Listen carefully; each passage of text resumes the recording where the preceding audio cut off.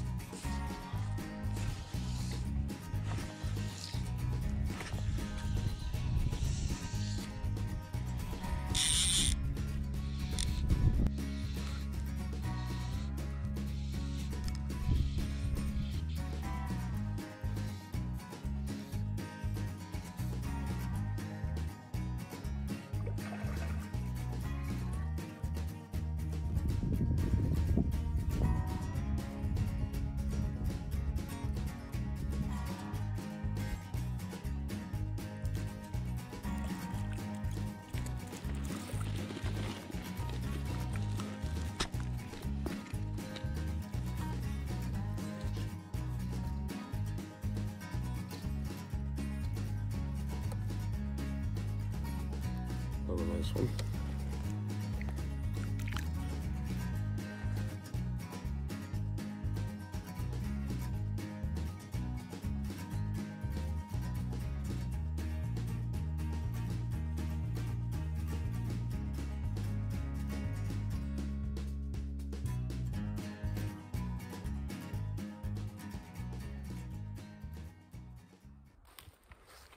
All right, well, fishing wasn't exactly on fire today, but didn't get skunked.